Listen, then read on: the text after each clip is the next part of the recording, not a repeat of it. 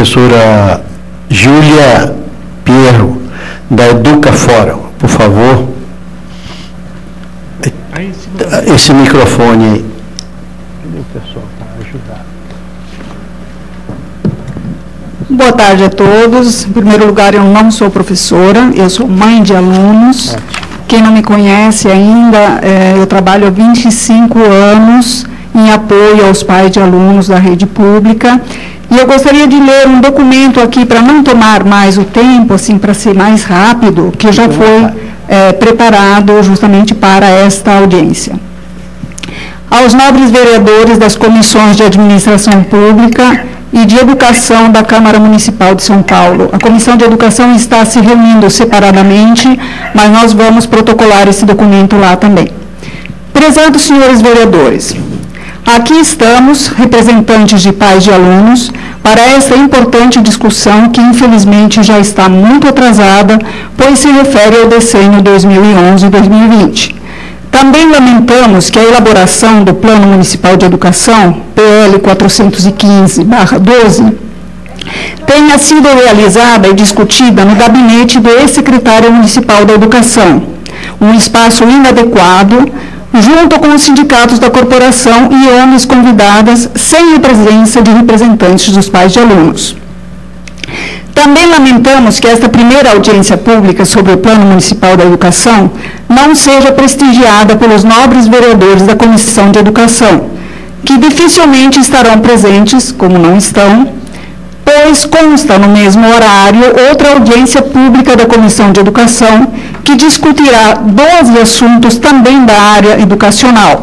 Mas perguntamos, qual assunto poderá ser mais importante do que o Plano Municipal de Educação? Lemos com atenção o PL 415-12 e queremos nos posicionar com respeito a alguns pontos, já que certamente não teremos direito a fala muito longa, de fato.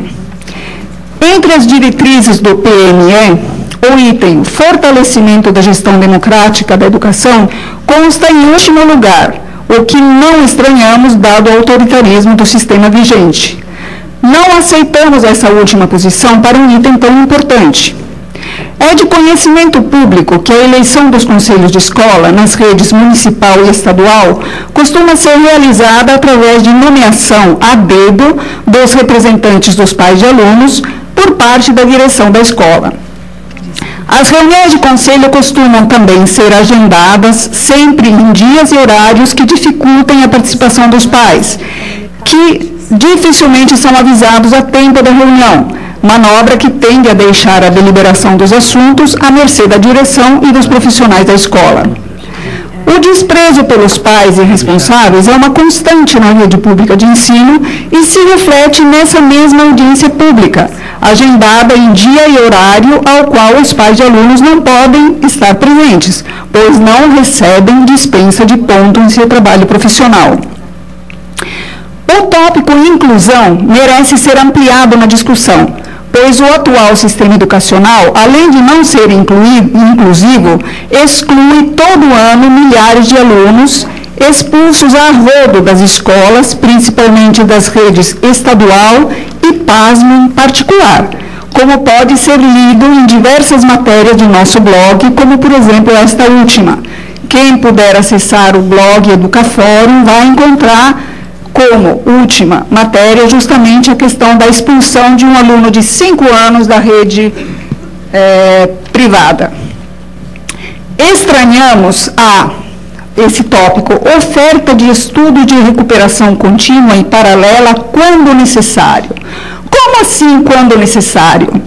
A avaliação continuada e a recuperação paralela dos alunos são prioridade absoluta e a falta dessas práticas levou justamente ao fracasso da progressão continuada, que funcionou muito bem durante a gestão Paulo Freire, Mário Sérgio Curtella, mas foi desprezada nas gestões seguintes, tanto na rede municipal quanto estadual.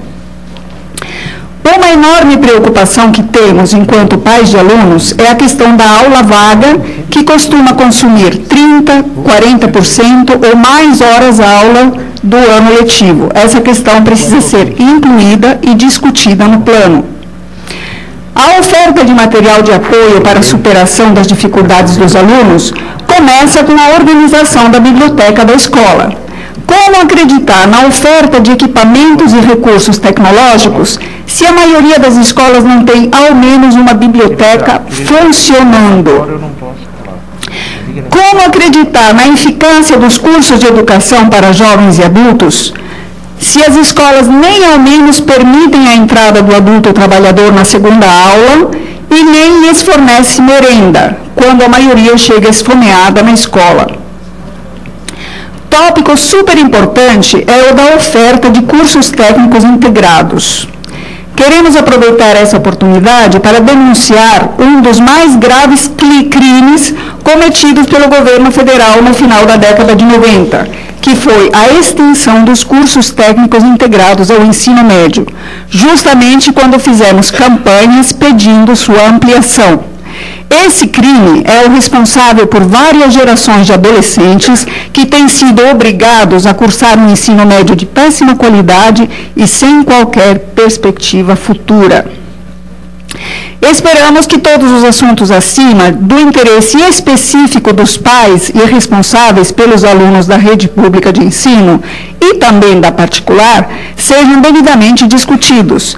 Vamos, inclusive, cobrar o posicionamento dos nobres e do atu dos atuais secretários municipal e estadual da educação.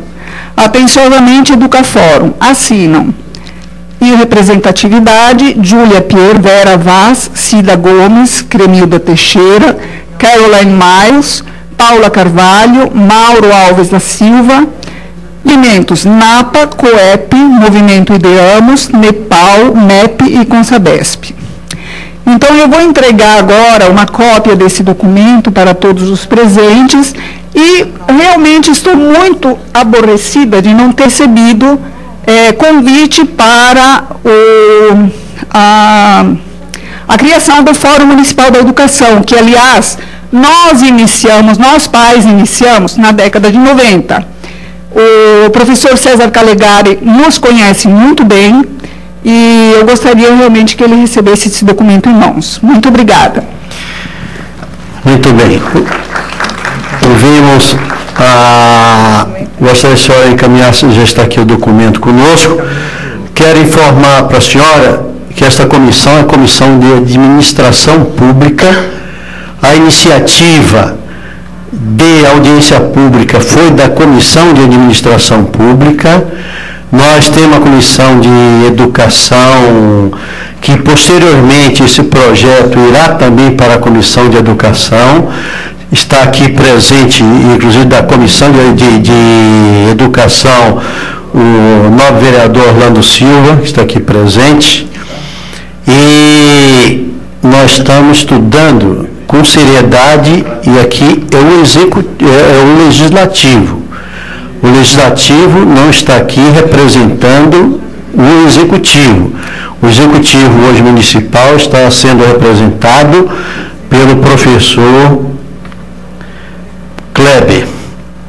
O próximo, ah, outra coisa, o, que a senhora, as colocações feitas são todas gravadas, que posteriormente será analisado pelo senhor relator para apresentar o relatório da Comissão de Administração Pública. E faremos tantas audiências quanto necessário for.